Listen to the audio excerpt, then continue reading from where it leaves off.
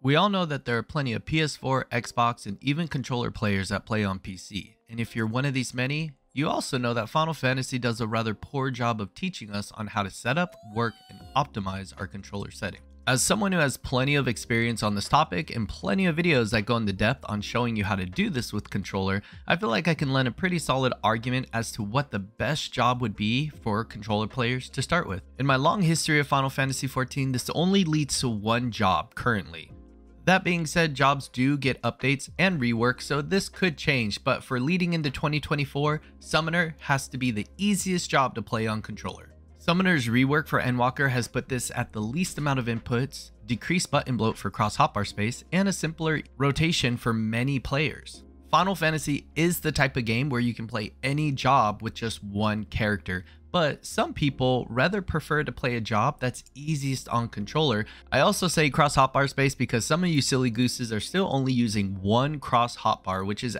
absolutely effing insane.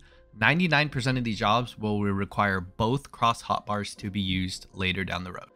Summoner has a relatively easy rotation of phases, which is burst phase, go through your three summons, burst phase again, go back through your three summons. I have enlarged my cross hotbar and turned off all of my visuals just to show you what I mean. As you can tell, all the abilities just basically replace each other as I go through my rotation.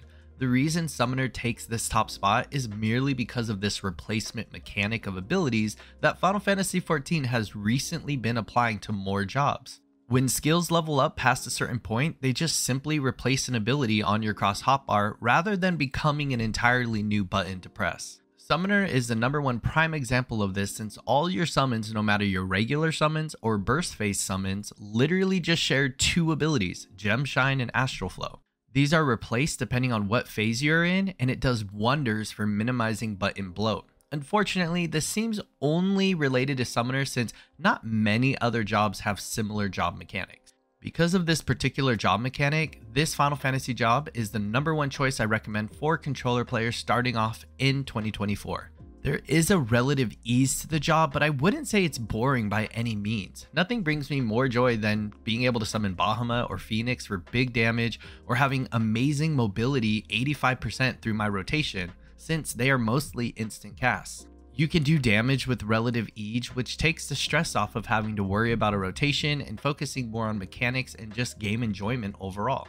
Playing on controller is far easier on the hands for me and many others, which is why I play on controller even though I do play on a PC.